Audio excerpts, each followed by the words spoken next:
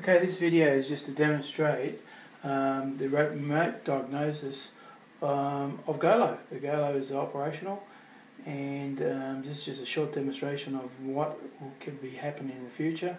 The workshops will be able to give better service uh, to the end user, the car owner, and the car owner has more in touch to the actual workshop itself. Now, with to get this to work, uh, remote diagnosis, they have to be friends, uh, so they have to share the contact information. So the contact information uh, has to be exchanged. And when the car owner has a problem, uh, the light comes up on the dash of the car, it's simply the car owner has to go to the car. If he's not interested in the fault, he just wants his workshop to look after it and wants to see if the workshop is online, he simply just goes to remote diagnosis It'll look for the technician that is um, able to do it. He'll be able to select the technician and then send a message to that technician to see if he's online. So I'll just send a short hi and it actually indicates on the pro so the technician might be on another vehicle but the indicator will come here he will go to the message area notice oh there's one from Golo and he can then say hi to exchange back to say yes I'm online. The message appears back here. Now all it needs to happen now is that the car owner then hits the plus area and goes directly to remote and then I gives me permission to take over his car. So I accept the remote diagnosis.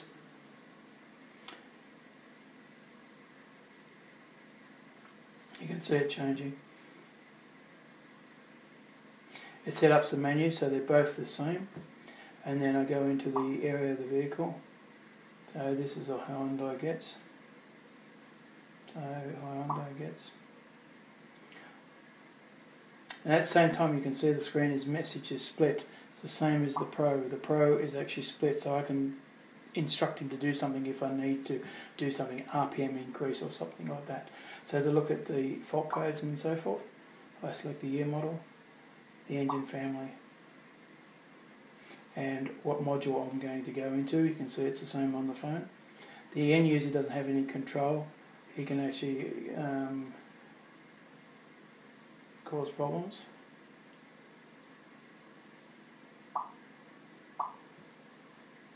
So we go into control. We can select the read codes and you can see there's a communication problem with this vehicle so the light might have came up on the dash or something, it's present. So now I can actually clear that fault remotely. I don't have to do anything to the customer.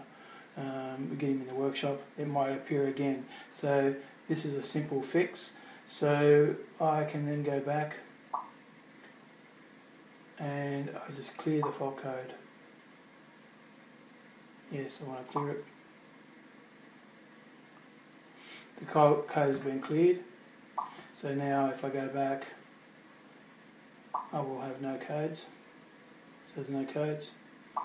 So now also I can actually look at some of the data streams. So if I wanted to see eh, the coolant, the temperatures, if that's okay and everything, the battery level, so I can select a few little items um, and just view them for instance. And see if it is running because I'm looking at the car. I don't know whether it's running or anything like that um, if the fans are operating. So I can select even the injector in duration. So we can see if the fans are operating. Um, let's have a look at something that uh,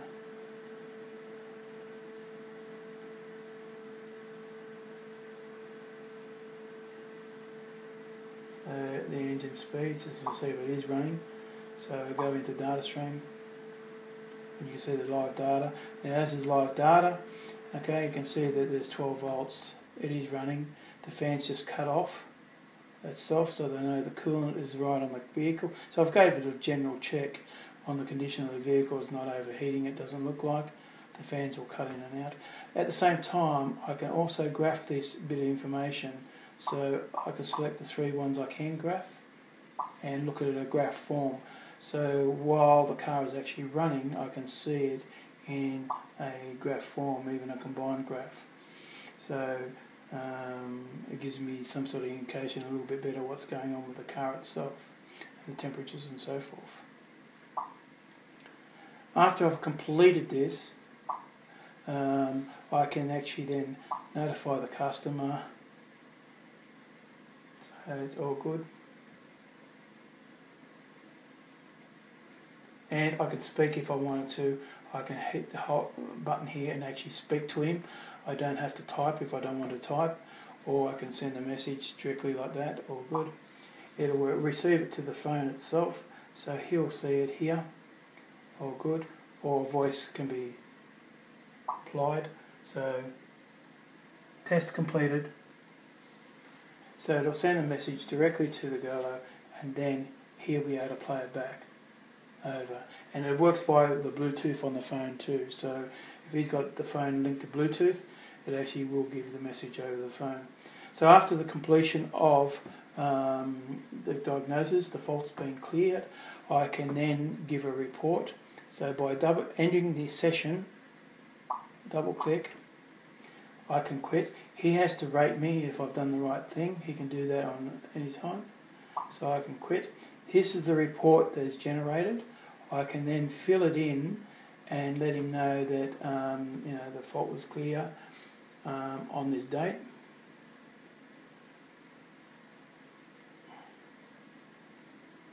Okay, cleared. And um, then I can then send that report to him. So he can rate me. Um, I can then generate the port after it's done and then send it. He will receive the report um, and what I've said down here, and this is kept as a record. So now the report will appear here, um, and then you can see the report and my comments down here. So that's the end of the diagnosis, and then I can carry on with my day-to-day -day business. So that's a little bit about the remote diagnosis of GOLO 1 and GOLO 3.